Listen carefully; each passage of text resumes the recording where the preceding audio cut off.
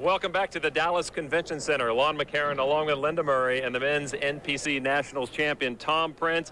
Tom, congratulations to you. Is this a bit of vindication after what happened to you at the USA comp? You were devastated. Yeah, at the USA getting ninth and just getting smacked in the face with a shovel of reality that hard um, was was just an eye opener. You know, it, it, led me to like have a you know a new train or a whole new outlook on life. Uh, dealing with my I mean, my wife, my kids, everything. Everything became just like a more positive and you know just kind of like full bore ahead for this one and just you know throw away all the bad negative stuff from the USA.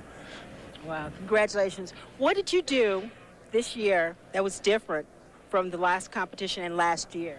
Um, I guess the biggest thing was just having Chad Nicholls there to help me, um, you know, take away all the stress, all the pressure, let him do all my thinking, um, kind of let him be my coach, and it just let me be an athlete so that all I had to do was train, and all I had to do was do my cardio and eat and pose, and you know, he, he, he, could do all the mental stuff, and he could like just take all that pressure, and, uh, and it worked really, really well.